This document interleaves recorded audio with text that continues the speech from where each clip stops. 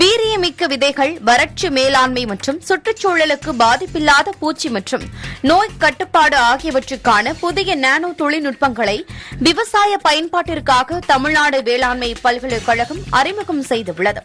நானோ தொழில்நுட்பம் தற்பொழுது வேளாண்மையில் உற்பத்தி மற்றும் உணவுப் பொருட்களின் தரம் ஆகியவற்றை மேம்படுத்துவதில் அதிக பங்கு வகிக்கிறது. தமிழ்நாடு வேளாண்மை பல்கலைக்கழகத்தின் இயற்கை வள மேலாண்மை இயக்குநரகத்தின் கீழ் இயங்கி வரும் அறிவியல் மற்றும் தொழில்நுட்பத்துறையானது வேளாண்மையில் புதிய தொழில்நுட்பங்களை விவசாயிகளுக்கு அறிமுகப்படுத்தும் நோக்கில் செயல்பட்டு வருகிறது.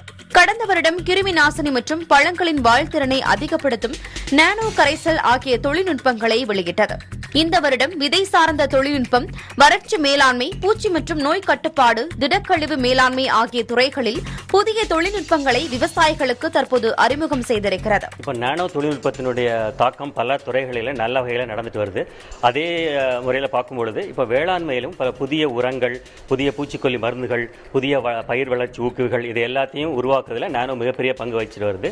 இப்போ தமிழ்நாடு வேளாண்மை பல்கலைக்கழகத்தில் இருக்கக்கூடிய நானோ அறிவியல் மற்றும் தொழில்நுட்பத் துறையில் வந்து போன வருடம் நாங்கள் வந்து இரண்டு கண்டுபிடிப்புகளை விவசாயிகளுக்கு நாங்கள் கொடுத்தோம். அதில் ஒன்று வந்து பார்த்தீங்கன்னா பழங்களுடைய வாழ்த்திறனை அதிகப்படுத்தக்கூடிய ஒரு நானோ கரைசலையும் நாங்கள் அறிமுகப்படுத்தினோம். அப்புறம் நானோ ஹேண்ட் சானிடைசேஷன் சொல்லக்கூடிய கைகளில் இருக்க கைகளின் பாதுகாப்பாக ஒரு ஒரு ப்ராடக்ட்டை கொடுத்துருந்தோம். இந்த வருடம் ஒரு ஆறு புதிய தயாரிப்புகளை நாங்கள் விவசாயிகளுக்கு வழங்குவதில் மிகவும் பெருமை அடைகின்றோம். இதில் விதைகளின் முளைப்பு திறனை அதிகப்படுத்தி வீரியமிக்க நாற்றுகளை உருவாக்க வல்ல விகர் பிளஸ் எனும் தொழில்நுட்பம் உள்ளது.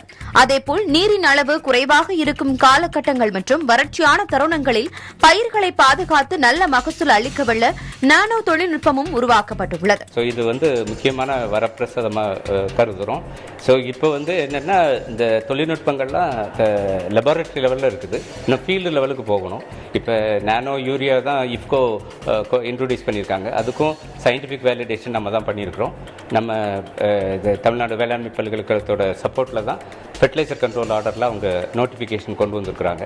ஸோ இதனால் தமிழ்நாடு வேளாண்மை பல்கலைக்கழகம் நானோ தொழில்நுட்பத்திற்கு ஒரு டார்ச் பேரர் இது வந்து கலங்கரை விளக்கமாக செயல்படுறதா நாங்கள் கருதுகிறோம் தமிழ்நாடு வேளாண்மை பல்கலைக்கழகத்தில் நானோ தொழில்நுட்பத்தில் உருவாக்கப்பட்ட இந்த புதிய கண்டுபிடிப்புகள் விவசாயிகள் பயன்படுத்துவதற்காக சந்தைப்படுத்தப்பட உள்ளதாகவும் வேளாண் வணிக இயக்குநரகம் இதற்கான முயற்சிகளை மேற்கொண்டு வருவதாகவும் துணைவேந்தர் குமார் தெரிவித்துள்ளார்.